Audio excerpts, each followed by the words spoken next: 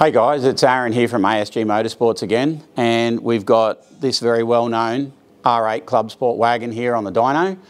Um, some of you would have previously known this car when Richie owned it. He sold it to, uh, to Cody, and uh, Cody's been having a play and getting out in this car and doing a lot of driving.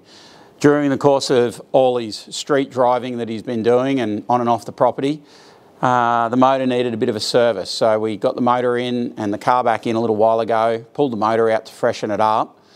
Subject to uh, availability issues with some valves from Ferrea, um, we've now had the car for a lot longer than we would have liked, but the valves turned up two weeks ago, we got the heads back together, dropped the motor back in the car, and here we are today, just checking things out, making sure that Everything's where it should be. We know that the car's made over 2,000 horsepower before.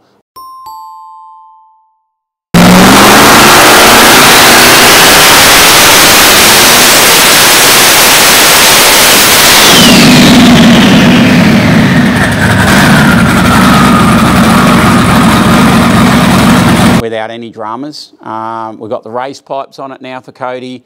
The race bonnet sitting there behind us, ready to go back on the car so we can start having a bit of a play.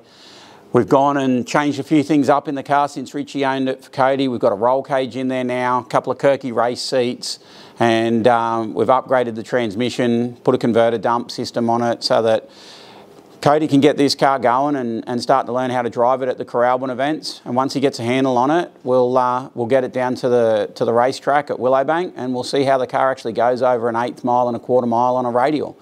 So um, yeah, we're really pleased to get good results again. The car's back to where it should be.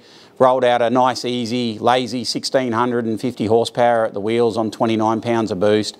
Very rich, EGT's nice and cold and a super safe tune. Ready for us to throw Cody in the seat and teach him how to drive this thing properly. So we'll give you a look at what we've done um, and we'll show you a couple of pulls on the dyno and hopefully uh, you'll see this car back out on the track soon so everyone can enjoy it.